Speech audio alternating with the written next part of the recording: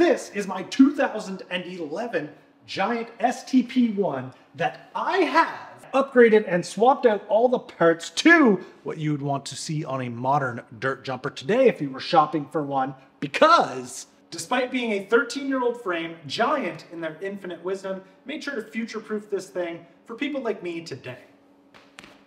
I thought it'd be fun to look at it and just kind of nerd out about it a little bit.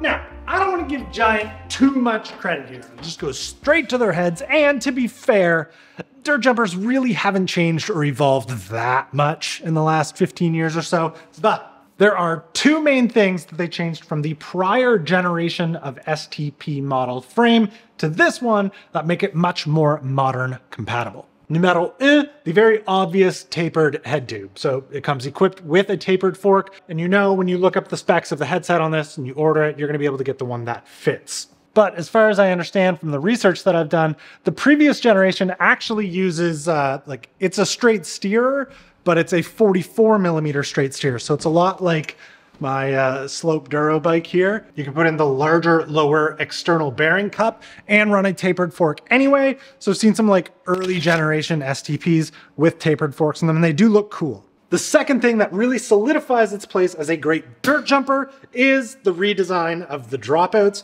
These are an adjustable horizontal dropout and they have a built-in derailleur hanger. The STPs originally come with drivetrains, but this makes it a lot easier to swap over, do a single speed conversion. Then you don't have to run a tensioner or anything like that. You just spin, you just spin these, which are the tensioner that push the axle back in this movable dropout.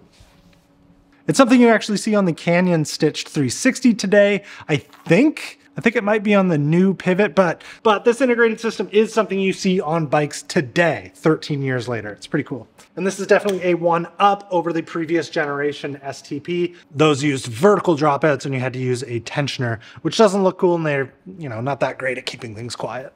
Now, these next two things about this frame have nothing to do with it being future-proof, but we're nerding out here. I think they're cool, so I'm gonna show them to you. First up, the top tube. The top tube on this thing is this crazy hydroformed shape all the way from the head tube. It's got these weird notches up near the head tube drawn all the way back to like a Y shape at the end. And in that Y shape, the seat tube pierces through and is welded top and bottom. And then to make all of that match, the seat stays are drawn out to match the line completely and are welded in the middle and it creates this big space here. This seems to me like an absurd amount of work to get this look, but I'm talking about it in a YouTube video 13 years after the fact. Maybe it was worth it, I guess. And then lastly, because I just think it actually helps with the strength of the frame, the chainstay yoke that goes up to the bottom bracket, it's very, very beefy looking. And I'm glad that it exists because uh, I tend, well, personally, I tend to break bikes around there because I'm always landing sideways or doing bad three to fakies. So very strong area and I'm glad it exists. My only qualm about this thing is that the welds at the dropouts are just like really not pretty. Like I would have expected, I guess I just expect better, but you know, they're not breaking. Okay, now that you've been informed of all of the quirks and features of the 2011 Giant STP1, we can go over uh, how I built mine up for uh, 2023, 2024. So originally this thing came with a Lowers color matched Marzocchi bomber that, uh, well, it didn't hold air. It also weighed a ton. So I still have it. It's just raining outside and I don't want to go get it to, to show it to you. So you just have to imagine it. Now on this thing is uh, a RockShox Pike DJ. The all black looks absolutely killer, I think. I thought about getting a modern Marzocchi Bomber DJ, but uh, Devin has had issues with his, and my friend Dan had to warranty his Marzocchi Bomber Z2 trail forks twice due to the steer tube and uh, like fork crown issue. Like a lot of noise, a lot of loosening up. I'm just a little bit afraid of Marzocchi forks because of that. Yeah, it freaks me out a little bit. This has been great. And because this frame comes with a tapered head tube, it's literally a direct swap. You pull the old fork out, put the bearing on this fork, cut it to length, and it goes in. I'm running a DMR Defy 35 stem. I'm pretty sure it has, if it doesn't have the exact same, it's very, very similar geometry to the stock stem that comes on this bike, but my God, it's way prettier. And as much as I know some people hate to hear it, you should like the way your bike looks. It does matter. I'm actually still running the stock bar, but it's cut down to 720 millimeters. I do want to try, I kind of want to try to go something with just maybe a little bit more rise. Um, but I don't need to do that anytime soon. These have been, these are fine. I like I like them a little narrower. I basically cut them down to this width to try and match between my BMX and this. So when I jump from one bike to the other, they feel uh, at least kind of similar. Nice to have some consistency. And then these are like the extra long ODI long necks. The rear brake works very poorly. It is a TRP slate lever with a now kinked hose and a Shimano, I think it's a MT200 caliper. They don't work good. It's like, it, it works really bad. That's kind of the next thing that I really should, should get. And then because I bar spin to the right, like I throw with my right hand and spin around clockwise, um, I don't like the angle that when you wrap the hose around the steer tube comes out. So I've got, got a zip tie on my bar and a zip tie here pulling the cable so that it doesn't come back at a really extreme angle. Um, that's likely to be a pretty niche piece of information, but it is a piece of information nonetheless. The seat post is the stock 30.9 giant pivotal post with the best saddle on the market, the Billy Perry saddle by Merritt. Drivetrain wise, I actually forget what brand these cranks are. They say trans. I think it's called Mission. I think they're Mission Transits. They're like, when I was building the GTMX, they were the cheapest crank that I could find, and they came in like a, a relatively short length. These are 160 millimeters, 25 tooth We the People sprocket, and some of the best damn pedals that I have ever used. Theory plastic pedals with metal pins. These are like 45 bucks and they're the best. I would happily run these on all of my bikes with flat pedals. And because these are a BMX crank and a mountain bike frame, I'm using an Odyssey BMX European style thread in bottom bracket. That makes this work. And that leaves us with the last thing that I probably put the most amount of thought into before doing the wheels.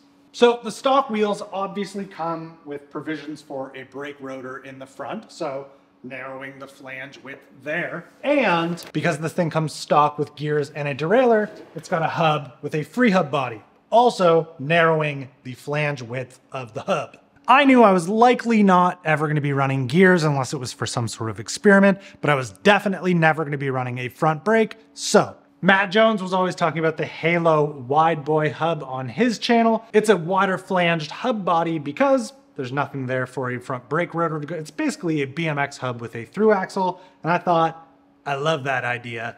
Wider spoke brace angle, that's a tougher wheel. So I ordered one of those hubs and built it up to the stock Alienation Black Sheep rim because Alienation rims, well, those are like a, they're a BMX rim. They look like a BMX rim, And I was happy to kind of like keep as much BMX roots in this dirt jumper build that I could. And then I kind of did the same thing for the rear and just looked for a single speed cassette hub style rear hub.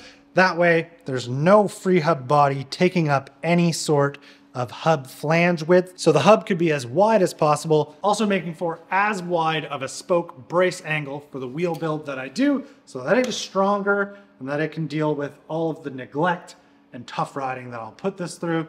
And because I'm always broke, what I came up with was the Octane 1 rear cassette hub from Chain Reaction before they stopped shipping internationally. So Octane 1 cassette mountain bike hub laced to an Alienation black sheep rim in the rear, Halo wide boy hub laced to an Alienation black sheep rim in the front. And they've been great. Wow. 11 minutes of this. I'm so sorry. Anyway, uh, stickers are in. I've started shipping them out. You'll get an email soon that yours are on the way. If you want some, there's more.